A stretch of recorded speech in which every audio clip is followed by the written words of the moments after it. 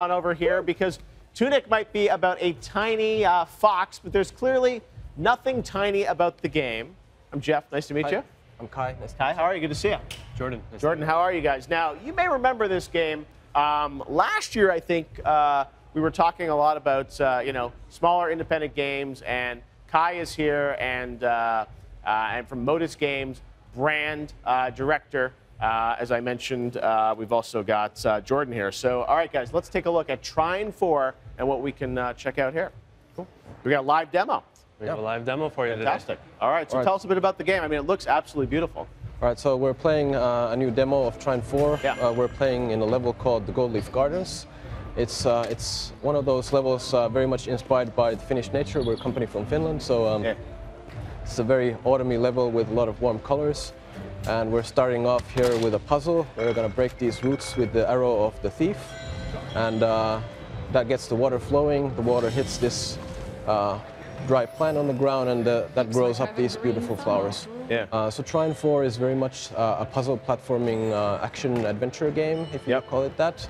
Uh, we've gone back to the 2.5D side-scrolling roots, uh, and um, yeah, here with a new adventure. Uh, next up, we're seeing uh, another one of those uh, water puzzles. We gotta somehow redirect this water flow onto the plant on the, on the dry ground on the left. Yeah. And we're gonna attach a box to the spikes, do a little rope onto the box, and rope which we can walk on, and finally reflect it with uh, the knight's shield. So a lot of times the puzzles in Trine 4 um, require you to coordinate the abilities of the three heroes, and uh, well, they all come with distinctive abilities, so it I, makes I mean, sense. there's so much puzzling to this. This is beautiful. It's like there's, yeah, a lot of layers of uh, of uh, puzzling and physics and everything all coming to life in such a beautiful uh, beautiful world as you kind of go through it, which is amazing. So switch characters on the fly there for different abilities to get through different moments, right? Wow. Exactly. Uh, so we're going to use the wizard here to levitate the boxes. Uh, Right. Levitation magic is the wizard's power, and uh, we're gathering these experience vials from the, this uh, little hidden cave here, which we can Yeah. later use for unlockable new abilities for the heroes.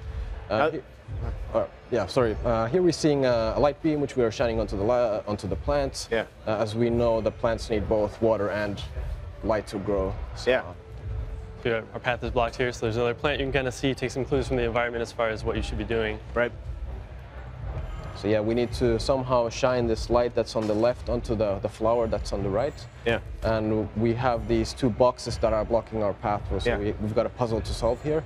Uh, but we combine the boxes with a rope and attach them to the spikes, and then finally we can shine the light on onto the plant with a shield and uh, Wow. these beautiful, giant, well, not giant, but pretty big flowers that are quite powerful because they move. No, I love that you've got the combat, but you've also got a lot of puzzling in, in this amazing, beautiful world. Let's just Trine 4. So people that may not have played the other Trines, uh, are they still available? We'll be able to check them out? Yeah, all the three Trine games uh, so far are available pretty much on all the platforms. So uh, Yeah. yeah. Fantastic. All right. Well, I know uh, the Ultimate Collection is coming this fall as well, right? Yeah. Uh, so the ultimate collection is uh, Trine one to four. Yeah. Uh, all in the in the same. Oh, pack. cool. So you get all four of them. Yeah, all four. of them. Okay, so the first three plus the new one, which is amazing. I mean, Trine's been around for a good, what, like a decade? Almost 10 years. Uh, Okay. 10 year anniversary is coming up pretty soon. Okay, that's amazing. Well, again, it's like I think it's such a beautiful, uh, rich game world, and I love the sort of elements of puzzles. And you know, as Stephen Totilo was saying, it's like a lot of games here with like guns and shooting, and this is just such a beautiful, rich world that just invites you in. And again, the level of detail on the art is just incredible on the engine, and I just think it's such a, uh, an amazing looking game with a ton of fun to play. So uh, we're excited to see. Uh, Modus, as you guys kind of bring out more titles and we get to check them out, but this is definitely something that uh, we'll look forward to. When is this one coming out? Uh, it's coming out fall this year. Okay. Uh, we haven't really announced the exact. But this year, coming This year, yeah. It looks, yeah, very polished and fantastic. Well, thank you so much, guys, for, uh, yeah, I at this. It's just like physics, Yeah. light, water. A lot of fun physics. combinations to make. I was going to say, that's how you get through it. All right, well, thank you guys so much for giving us a sneak peek Yeah. at Oh, uh, Trine 4, which you guys can check out later this year. And now we're going to head on back, because now I think it's time to talk about a fox. It's like, I said that over there, but that was Trine 4. Now we're here to talk. Oh, he's got wearing the fox shirt. I'm Geoff. Nice to meet you. Harris, great to Harris, how are you? Felix. Felix, how's everything? Good. Well, guys, I'm so excited to talk about Tunic. You may remember this one from the in, uh, Xbox press conference last year, um, which was an amazing game. And, and the story of this development is incredible, right? Because tell us a bit about uh, the size of the team making this game. It's uh, mostly a size of one for Exactly. the most part. Yeah. Yeah. Uh, this is being developed by Andrew Shouldice. Uh, he's not here with us this week. Because he's busy working on his game. Busy working on his game. You know, you got games of 20, 50, thousands Yeah. of people, and when it comes to mainly one person making a game, Yeah. it's probably best they work on it. So Andrew's Yeah. back home working real hard on Up it. in Canada, right? Isn't he in Yes. Nova Scotia? Nova Something like? Scotia, Halifax. Halifax. Well, hello, Andrew, if you're watching. Um, if he's not busy developing. And yeah, this was a fun game, and I, you know what I love about E3 in this industry is that we have massive games made by hundreds of people, and then something like Andrew being able to make this game. You said basically a team of one, but obviously you guys are are helping him bring it to life at least, or, or share it with the world. Um, so Tunic, is there new stuff here at E3? What can we expect from it? So at E3, you can play our demo. It's part Okay. of the Microsoft area over Yeah. next door at LA Live. Oh, cool. Uh, and you can check out a tweaked combat system. Yes. Added some other little bits and pieces. Uh, and yeah, that's that's what we're showing. Wow. So it's amazing. I mean, he's been working on this for how many years now? Two and a bit, three-ish. Depends on the day. Yeah, depends on the day. Yeah, yeah. No, but again, it's such a beautiful, interesting game and playable over at Xbox. And where is he at in development now on it? Uh, active, Okay. I would say.